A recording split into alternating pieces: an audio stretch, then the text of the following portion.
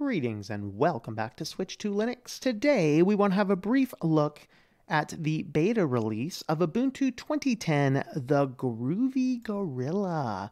That's right, we have a gorilla dancing around in sunglasses on our desktop because at the time I'm reviewing this, they just released the wallpaper and it got pushed out in the latest updates for today. So you'll be able to see that. Now, this is a, a short term release, so this is going to be, I think, uh, supported until July 2021. So they have a nine month re- release cycle on these. And these are the incremental changes that kind of test the new implementations going in between the two year LTS release cycle. So 2004 came out. There was always a few bugs in the first release cycle. The 24 uh, 2004.1 is out now, which has fixed a lot of those bugs and a lot of those issues. So that is excellent.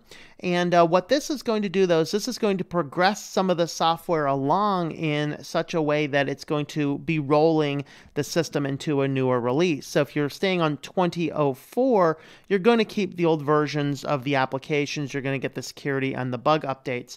But if you go with the shorter term releases, like the one we're going to look at today in the Ubuntu line, you're going to get some of the latest features and functions. Usually, this means that there's not going to be a lot of significant changes in the uh, desktop. But in this case, we are moving from GNOME 3.36 to GNOME 3.38. And GNOME 3.38 comes with a lot of significant changes that are beneficial things, things that a lot of the GNOME users have been asking for, things that they've wanted to do utilizing some extensions now that you do not have to.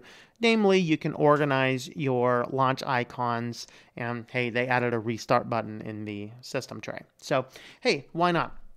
So let's go ahead and have a look at this. And uh, what we are going to do first, actually, is I want to boot up and show you guys the. I want to show you guys the installer first, and uh, just to highlight a couple small things in there. So here we are booting the ISO. Now we do have the Ubuntu, we have the Ubuntu Safe Graphics, and the, we have the OEM install. Now I'm not sure if this is how they are going to run the grub menu going forward, or uh, if this is just something because it is a beta. But uh, in the past, if you wanted to do an OEM install, you had to do a little bit of uh, shenaniganery. You had to uh, first, hold down your shift button so you can actually get to the grub menu, and then you need to press your F4, change the setting over to the OEM install function. A little bit more difficult. Now you actually have the option to go right there. Again, I don't know if that's because this is a beta or if that's going to be in the final release. My inclination is it's probably because it's a beta, because they really want the final release to be as user friendly as possible, which means skip the scary menu that most people don't know what it means.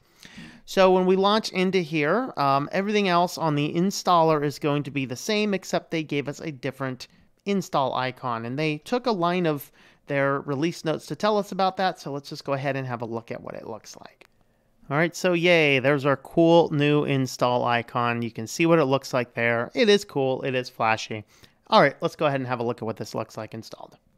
All right, so here we are. We have landed on the login screen. You can go ahead and enter your super secret password. That's definitely not one two three. You have the um, the X is the default. You can go on to Wayland, which uh, if I were not on a virtual machine, I might try it out. But virtual machines don't work as well under Wayland, so we're going to go ahead and stick with X for now. We do find that uh, the GNOME 3.38 is, is very rapid, very responsive out of the box. Let's go ahead and boot up before I do anything else. Let's boot up the system monitor, see what it looks like on install. Looks like we're running about 1 1.1 gig of memory once it is booted up.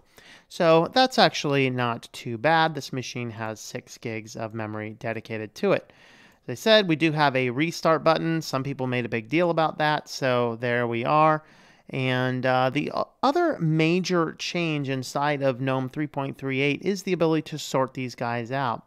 Now, I went ahead and already sorted these just to test it out. I did find that it's a little buggy. I don't know if that's because it's an Ubuntu modification of GNOME 3.38 or if it's the uh, the function of adding icons and things. If I start moving icons around, we might get it to bug out. Uh, but we'll go ahead and show you what this looks like before we try and bug it out. So I just basically, you drop these guys on top of each other and then you can just uh, go up, hit the button up here to rename them. I installed the minimal version and then I installed LibreOffice. We will get into that in just a moment. Let's see if I can bug this guy out first. So I was kind of bugging it out, just adding things and then trying to take them out and then sometimes it would just not work and then you kind of had to do this hold it for a little bit.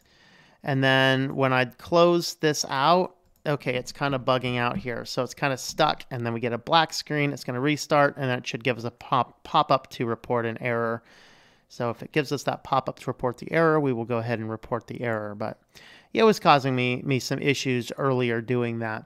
Some things would get stuck. Maybe it's only not going to give us the error. Occasionally I would get some of the icons storing back there and it's fairly inconsistent. But I was able to throw everything here together, rename this guy Ubuntu Tools. I think language support should be elsewhere, but uh, just to play around with uh, with the organization. So that's certainly a good feature that they have uh, implemented in.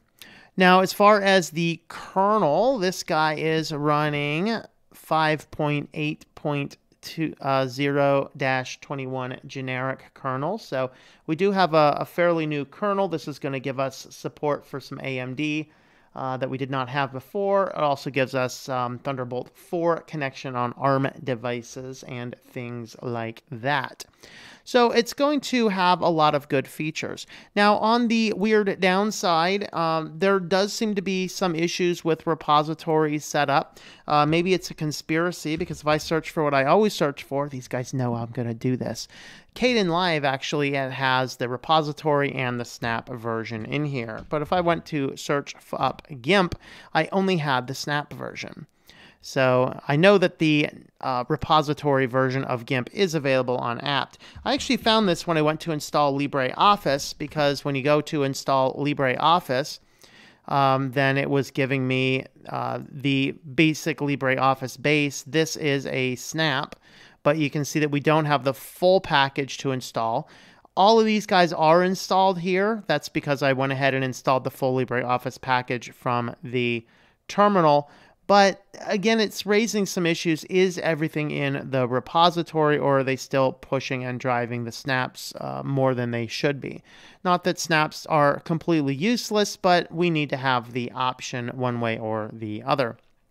So the other things that I've found in here that are a little bit different, we do have a different screenshot application. If I can find the green, no, not that button. I pushed the wrong button, folks screenshot application. There we are. We do have um, screen, window, and select a window. Uh, nice new simplified option, very much like the Linux Mint screenshot option, which is very cool. Firefox has been upgraded to the latest version. Also, LibreOffice is now on version 7 from the repository, and so that gives us a uh, very modern experience with LibreOffice. So here's our Firefox build. Okay, we'll close the tabs there. It looks like I might have uh, opened it up twice there. Uh, LibreOffice, uh, this guy's going to be your 7.0 option. And apparently they did make some changes in Nautilus, although I was not able to immediately spot what those changes are. Uh, you guys involved in the GNOME development will know more about what's going on there. All right, so here we are. Here's LibreOffice. Again, I open up twice. I, guess it's like not super responsive. Um, I did find things like the spelling checker were working out of the box. The uh, synonyms, like so, like the dictionaries aren't there, uh, but that's easy enough to install should you happen to need those.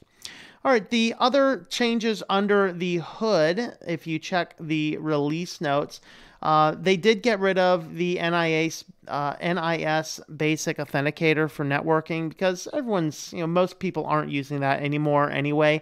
And there were some issues involved in getting that to work with uh, some new updates to some software. So that's been dropped, uh, which I guess if you really need that, you can put it back in, but most people by default are not. All right, so you can go ahead and check out the Ubuntu websites, and I'll go ahead and link the um, link the release notes and such to the bottom of this video. You can go ahead and check those out if you want to download it. It is available for beta testing on all of the official community desktop environments, as well as the web and uh, the web servers all of the basically all of the additions for Ubuntu are available for testing. So go ahead and start your testing. Report any of those bugs out that you find. Other than that, we're getting uh, we're getting a basic Ubuntu. It seems to work just fine and uh, not having any problems. I do like a lot of the new theming, new icons. These might have been um, new in 2004 and I didn't notice, but I just think it this is looking really slick. It's really really coming along as an excellent and mature uh, mature system. Uh, definitely better than it was when it first switched back to GNOME a while ago. So uh, I'm very pleased with the with the changes that we are seeing, and um, you can go ahead and download it yourself to experiment with it. Leave them any bug reports, leave them any notices. As of right now, there's virtually nothing reported as far as errors, maybe a couple little odds and ends things here and there, but uh, nothing out of the ordinary. So it does look like they're returning back to that time when they're releasing stuff that's actually good and ready to be released. Although that does usually happen on these uh, these point releases because they are, um, you know, these are just bug fixes mostly of 2004 and testing and upgrading new packages. So it's a very good uh, distro so far. Have a look at it if you are so inclined or if you think Ubuntu is the devil. Just go ahead and give it the pass. That's okay as well. But I think all Linux distros, particularly all of the major Linux distros, deserve a little bit of airtime and attention. And I think that they did an excellent job on this one. So thanks for coming along here. You can go ahead and check the website at switchedtolinux.com for any more information about what we are doing. We are in the middle of redesigning the website. So if you do have some suggestions for features and things like that, go ahead and let me know while we're in the development process and I can much easier build those in now than I can add them in later. So definitely go ahead and give us that information. Thanks for coming along and I hope that you enjoy switching to Linux. Thank you for watching this video from Switched to Linux.